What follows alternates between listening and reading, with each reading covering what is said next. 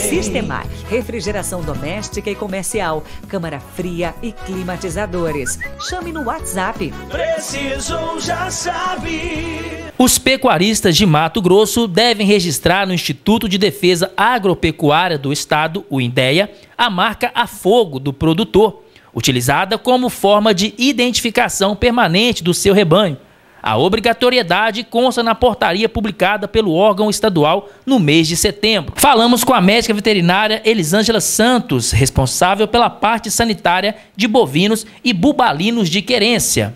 Nós estamos convidando a todos os produtores da parte da pecuária a procurar a, o INDEA mais próximo e para estar tá registrando a sua marca fogo, né? Essa marca que é utilizado para marcar o bovinos e bubalinos. Ele pode procurar qualquer unidade, não necessariamente só aqui em Querência, se ele tiver em outro local também, é, levando consigo as marcas. Se ele tiver mais que uma marca, deve levar, né? E junto com ele um formulário. Caso ele opte por preencher esse formulário em casa, ele vai conseguir é, pegar esse formulário no no site do INDEA.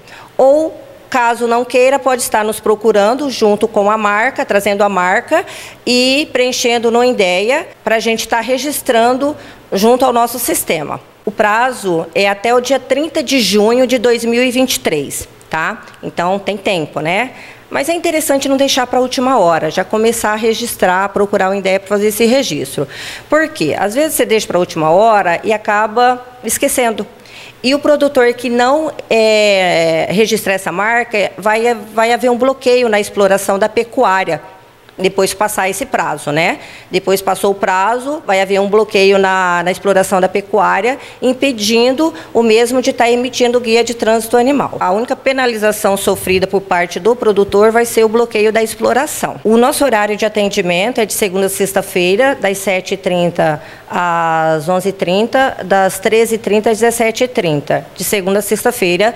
Lembrando que esse registro é presencial, tá? Ele deve vir pessoalmente, trazendo a marca para fazer esse registro junto ao INDEA. Não tem custo algum, tá? É, nenhum tipo de, de cobrança. Segundo informações da Associação dos Criadores de Mato Grosso, a Acrimate, a portaria estabelece os procedimentos necessários para o registro da marca Fogo, junto ao INDEA bem como institui o prazo limite, como disse Elisângela, até o dia 30 de junho de 2023 para o produtor cadastrar a sua marca fogo, que será utilizada pelo INDEA para fins sanitários.